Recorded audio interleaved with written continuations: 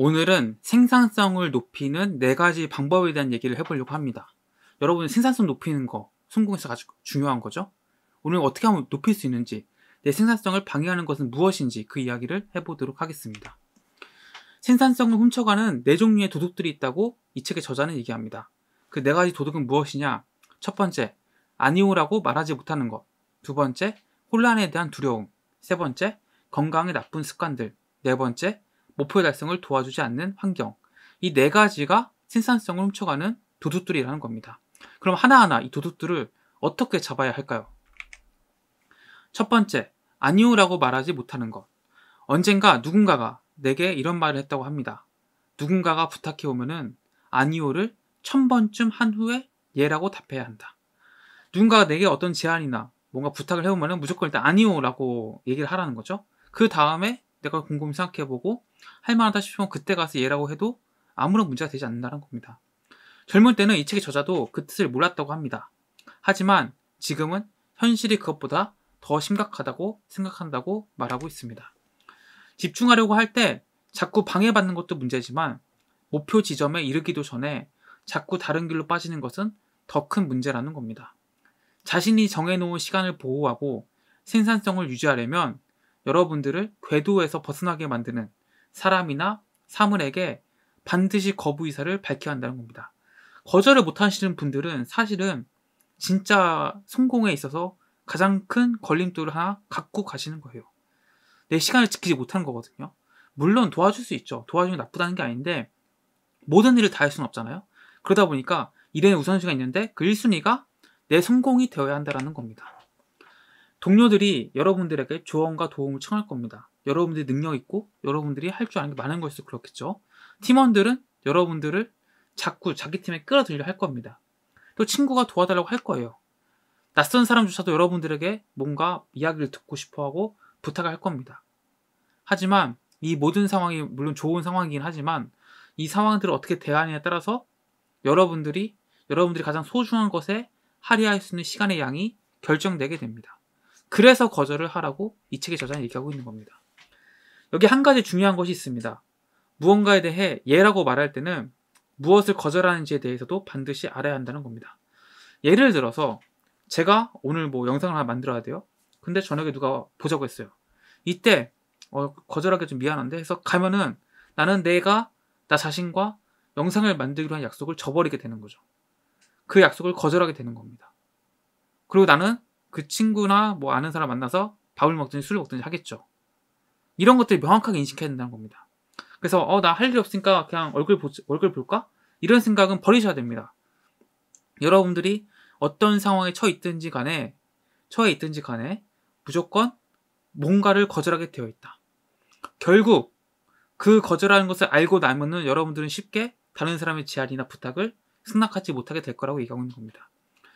결국 크게 성공하는 가장 좋은 길은 파고드는 것입니다. 이 파고들 때 다른 일에 대해서 아니오라고 말할 순간이 너무나 많다는 거죠. 그래서 여러분들은 지금부터라도 아니야 나 할 거 있어 아니 나 딴 거 해야 돼 이미 선약이 있어 이런 식으로 거절하는 법을 배우셔야 됩니다. 모두에게 예라고 말하는 기술은 기본적으로 아니오라고 말하는 기술과 같다고 얘기해요. 모든 사람에게 예라고 말하는 것은 아무에게도 예라고 말하지 않는 것과 같다라는 거죠.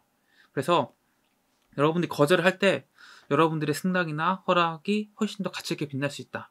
그래서 처음에 물론 어렵죠. 하지만 계속 훈련하다 보면은 너무나 이제 당연하게 거절을 할 수 있고 여러분들이 여러분들의 가장 소중한 것에 집중할 수 있게 된다는 겁니다. 모든 사람을 기쁘게 할 수 없죠. 이걸 명확하게 인식하시면은 어, 됩니다. 무슨 얘기냐? 여러분들이 모든 사람을 기쁘게 하려고 노력하잖아요. 결과적으로 여러분 자신은 행복하지 않을 겁니다. 왜? 내 삶이 없거든요. 내 삶을 내 뜻대로 살지 못하거든요. 다른 사람 부탁 들어주느라. 그래서 일단 나부터 행복하고 기뻐야겠죠? 그러기 위해서는 거절을 해야 할 줄 알아야 된다. 그럼 어떻게 거절해야 될까요? 누구나 거절하는데 어려움을 느낍니다. 하지만 부탁을 받을 때 매번 거절하는 것이 첫 번째 선택이 되어야 됩니다. 그럼에도 결국 부탁을 승낙하고 말았다면은 이 예의 효율을 극대화시킬 수 있는 창의적 법을 찾아야 됩니다. 예를 들면은 뭐 내가 어떤 가르치는 일을 하고 있어요. 사람들한테 뭘 자꾸 물어봐요. 그 뻔한 질문들 있잖아요. 자주 하는 질문들 있잖아요. 그런 것들을 뭐 전자책이라든지 뭐 유튜브라든지 뭐 블로그에 써놓는 거죠. 그리고 그런 거에서 물어보면은 링크를 보내주면 되는 겁니다. 그럼 그것을 보고서 이제 그 사람은 나한테 질문을 하지 않겠죠. 이런 식으로 뭔가 창의적으로 거절할 수 있는 방법을 찾으라는 겁니다. 거절과 동시에 예라고 말할 수 있는 방법을 찾으라는 겁니다. 두 번째, 혼란에 굴복하지 마라. 남다른 성과로 가는 길에는 그리 즐겁지 않은 일들이 많이 일어납니다. 단 하나에만 집중하다 보면 반드시 일어날 수밖에 없는 현상이 있죠. 다른 일들을 제때 마무리하지 못하는 것입니다. 이런 일이 벌어지면은, 즉, 제대로 처리하지 못한 일들에 대한 압박이 굴복하기 시작하면은 마음은 편해질 수 있어요. 하지만 절대로 높은 생산성을 창출할 수 없게 되죠. 그래서 이 사실 성공과 혼란은 함께 온다라는 것을 항상 기억해야 됩니다. 위대함, 여러분들의 꿈이 클수록 여러분들이 더 대단한 일을 하면 할수록 더 큰 혼란이 올 겁니다. 여기에 저항하지 않고 이 사실을 있는 그대로 받아들이는 것이 중요하다. 그러면 어떻게 되냐? 여러분들은 그 혼란을 막 없애려고 하기보다는 그 혼란에 대응하는 법, 대처하는 법, 그 혼란과 함께 살아가는 법. 아, 이거는 세금 같은 거구나. 내가 큰 성공을 하기 위해서 자연스럽게 따라오는 것들에 불과하다는 것을 인식하면은 이 혼란을 적절하게 대처할 수 있게 되겠죠.